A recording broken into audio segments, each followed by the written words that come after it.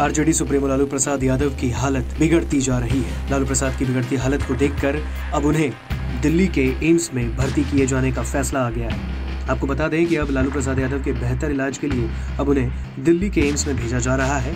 इस बात की सूचना डॉक्टर उमेश प्रसाद जो कि लालू के मुख्य चिकित्सक हैं उन्होंने मीडिया से बात करके दी है। सर्वसम्मति से ये फैसला लिया कि इस स्थिति में और उनके अन्य बीमारियों को जी। उनको जो है कि मैंने अभी हायर सेंटर एम्स में रेफर करने के लिए निर्णय लिया गया यही मीटिंग का निर्णय आया है।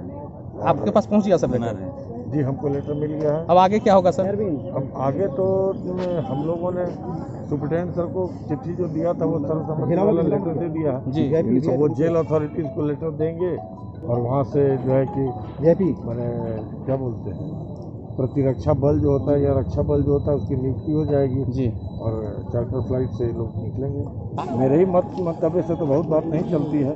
और लोगों ने फैसला लिया कि नहीं हो सकता है कि अगर कल जाके आगे कुछ परेशानी बढ़ेगी तो हमारे पास शायद उतना बैकअप नहीं होगा, इसलिए हम लोग वहाँ भेज दें तो अच्छा होगा। तो वहीं आपको बता दें कि अब लालू प्रसाद यादव की बिगड़ती हालत को देखते हुए उन्हें दिल्ली एम्स भेजा जा रहा है। लेकिन इससे पहले उनकी बेटी और राज्यसभा सांसद मीसा भारती ने फिर से रांची के रिम्स में लालू प्रसाद यादव से मुलाकात की है और उन्होंने मुलाकात करने के बाद मीडिया से कुछ बात तो नहीं की, लेकिन साफ़ उनके चेहरे पर झलक रहा है कि उनके पिता की जो ये तबीयत खराब हुई है, उसको लेकर उन्हें भी चिंता सता रही है। आपको बता दें कि देर रात तेजस्वी प्रसाद यादव, तेज प्रताप यादव और राबड़ी देवी रांची पहुँचे, जहाँ पर उन्होंने रिम्स में लालू प्रसाद यादव से मुलाकात की। उनसे मिलने के बाद तेजस्वी यादव ने मीडिया से बात करते हुए कहा कि लालू प्रसाद यादव की स्थिति बेहद गंभीर है उन्हें सांस लेने में तकलीफ़ हो रही है, जिसको लेकर अब उन्हें दिल्ली के भी एम्स में भर्ती किए जाने का फैसला हो सकता है, लेकिन आज इस बात का फैसला हो गया है कि अब दिल्ली के एम्स में ही लालू प्रसाद यादव का इलाज होगा, उनके बेहतर इलाज के लिए अब उन्हें